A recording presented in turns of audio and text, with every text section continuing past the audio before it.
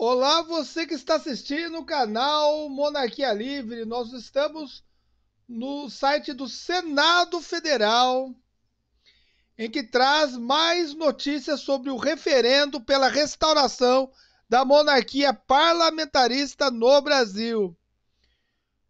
Nós temos um novo relator da matéria.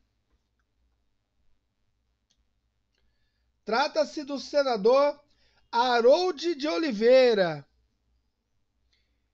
Ele que entrou como relator no dia 20 de fevereiro de 2019, ou seja, ontem.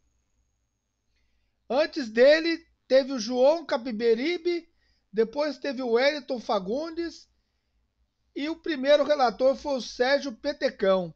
Agora está nas mãos de Harold de Oliveira a condução do processo da sugestão 2018 que pede o referendo pela restauração da monarquia parlamentar no Brasil. E você, gostou da notícia? Deixe o seu comentário aqui no canal Monarquia Livre.